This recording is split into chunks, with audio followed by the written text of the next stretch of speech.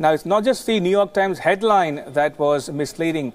It turns out that the entire article is devoid of facts, poorly researched and reported. Take, for instance, uh, the article is factually inaccurate. Let's look at uh, the first example.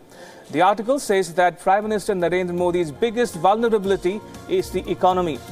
The NYT says that India's economy grew 6.6% in the most recent quarter and called it the slowest rate in five years. That's not true. The slowest rate in five years was 5.7% in the first quarter of 2017.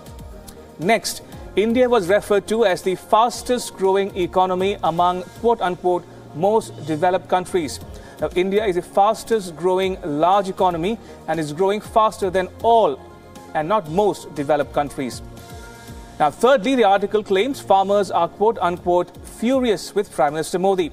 The article says, and I quote, he had promised to ensure that farmers receive prices high enough to make a profit, but export controls and overproduction have cut deeply into prices for crops like onions and potatoes, unquote.